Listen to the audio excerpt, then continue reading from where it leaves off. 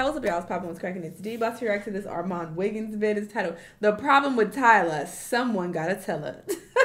All right, I, I want to hear what he has to say about the situation because I thought this was very interesting. If you don't know, um, at the VMAs, Tyla accepted an award, and she basically asked Lil Nas X and Halle Bailey to hold the award for her. I was like, "This is too heavy. Can y'all hold this for me?"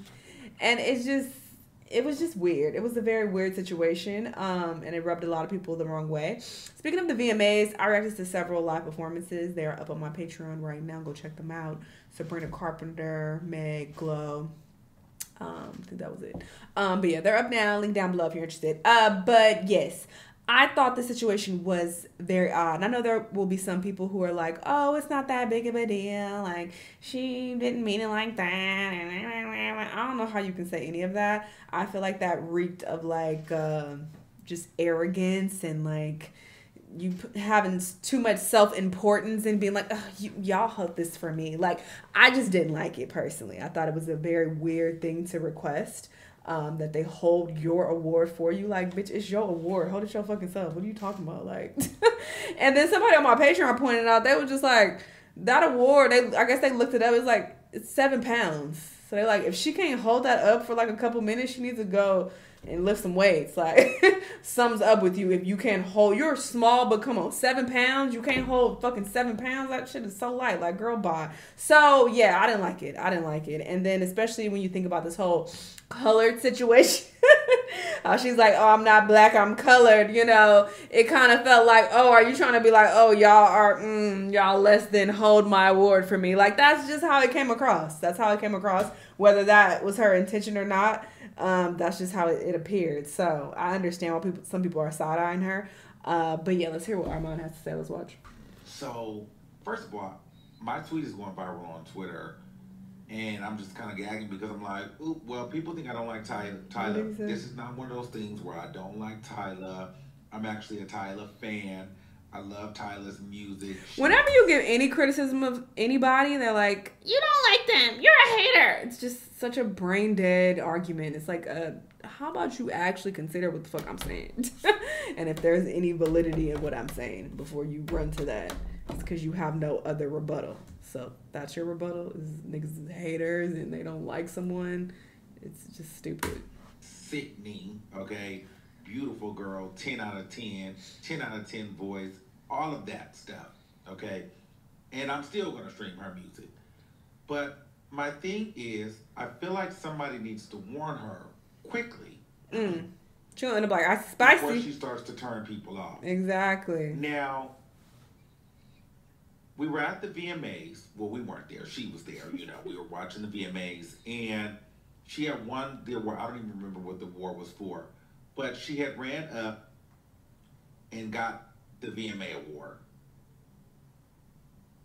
And in the midst of getting the award, I saw her, you know, seemingly tell her assistant, you know, stop, you know, this is enough. I'm going to take it on from here. But then she oh. says that, you know, you guys know how I am with in awards. You know, awards are heavy for me. First of all, no, we don't know how you are with right, awards. The fuck? I'm not paying attention to who how you are with awards, and I don't care who you are and how you are with awards. This is your award.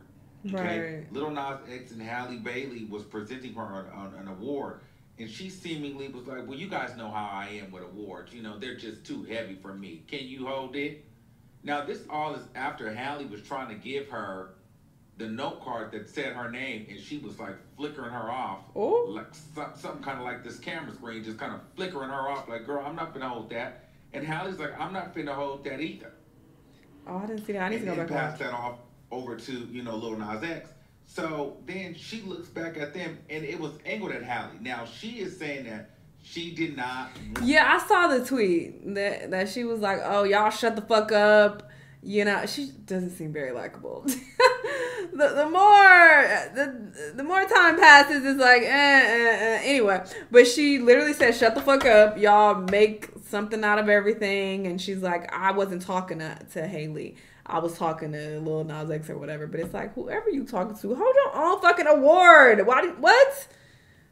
These speeches are only like a couple minutes. If they're long, they're a couple minutes. Most people go up there for literal seconds. I want to thank God. I want to thank my family, my fans. I appreciate y'all. Wouldn't be here without y'all. Thank you so much. I'm so blessed. All right, bye. You know, and then they're off the stage. You can't hold a seven pound award for for those seconds. Like, girl, fuck out of here. Um, so yeah her her saying that oh i gave it to him to hold but it didn't look like that it did look like she was like trying to give it to either of them it looked like she like basically asked haley first holly it they i never know how to pronounce her name she asked her first and she wasn't responsive so then she like angled it towards Lil Nas X and he grabbed it. That's what it looks like from from my viewpoint. But obviously, I don't know for sure. He was not asking Halle to hold hold her trophy. That's a lie. Halle even tried to jump in and clean it up. Halle lied too. We know they both. we know Halle lied. So they, they now we know she lied. I think they wanted to keep the peace and not make it a thing Halle. because it went viral. But Tyla didn't give a damn who held that trophy. She did. She looked back at either one of them, and she really looked back at Callie, I mean, Halle, because Halle was the one that was giving her the card. So she looked at Halle, was like, "Hey, can you hold this for me?" Mm-hmm. She that's wasn't thinking, like. "Oh, that's a girl," and let me go give it to Lil Nas X. She was thinking, "Can y'all hold this for me? I don't hold this. I'm Tyla. Y'all know how hard it is for me in awards. You guys, here's another award, and you guys know I just do not do mm. well with." holding a, holding award. yeah, uh, it also came across like that. Like y'all know all the awards I be getting. I can't hold these up, and I shouldn't be holding these up. Me and my award.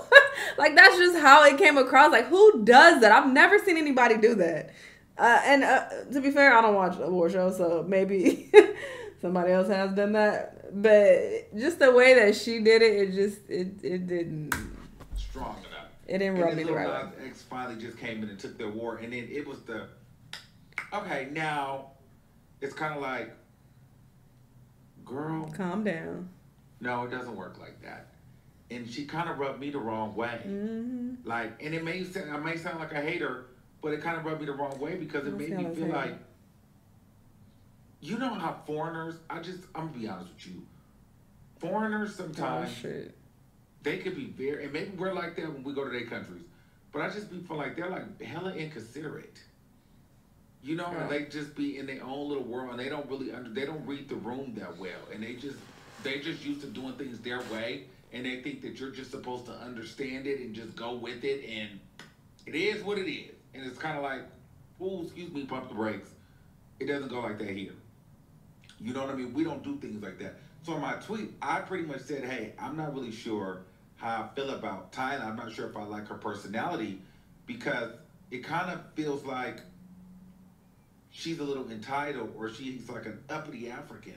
Uh-huh. And I don't really know how to explain it, but it just kind of feels like this like grandiose or like persona. Like I think that she needs to be a little bit more humble. Okay. I mean y'all can check out the rest of his video. I will link it down below if you want to hear, you know, the rest of his take on this situation. But um yeah, I do feel like it did come across entitled and maybe he's trying to say that uh, you know some africans some you know do come to america and they feel like they're better than the black americans you know um so maybe that's the vibe that he's getting i can't say if Tyla is one of those africans or not i don't i don't know this woman um, I have not gathered enough information on her to conclude if she's one of those uh, uppity Africans, as he said.